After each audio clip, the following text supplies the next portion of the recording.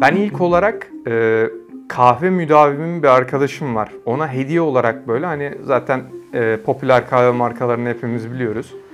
O kahve markalarından birinden bir bardak aldım. Onun sevdiği şeyleri çizdim. Aslında hediye olarak başlayan bir süreçti ama e, onlardan gelen tepkilerin güzel olduğunu ve onların çevresinden gelen tepkilerin güzel olduğunu biliyordum. Sosyal medyayı taşıyınca bu daha büyük bir kitleye ulaşmama e, olanak sağladı.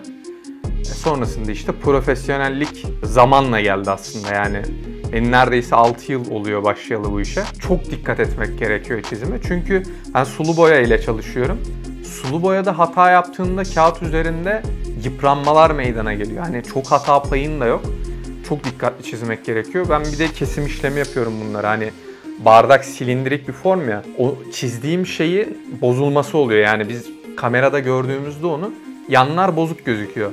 Bunu istemediğim için kesme işlemi uyguluyorum böyle. Çizdiğim şeyin dış hatlarını keserek böyle öne çıkartıyorum ve hem derinlik kazanıyor böylece hem daha gerçekçi duruyor. Hem de bardaktan ayrılmış bir heykel gibi duruyor böyle çizdiğim şey.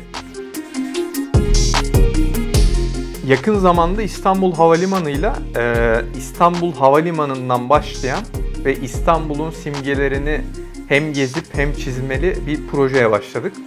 Ee, ya bununla ilgili işte 20 tane bardak hazırladım. İstanbul'un en çok bilinen simgeleri işte Taksim'de Cumhuriyet Anıtı, işte Saint Antoine Kilisesi, Galata Kulesi, ne, ne bileyim Kız Kulesi falan. Yani İstanbul'un en bilinen simgelerini çizdim.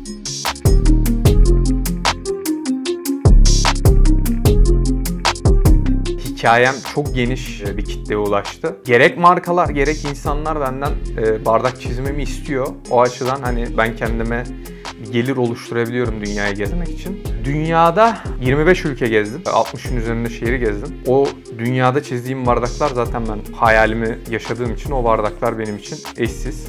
Bir insan bir şeye ulaşmak istiyorsa yani hayatın herhangi bir alanında yani o istediği şeyi gerçekten elde etmek için bayağı bir çalışması gerekiyor.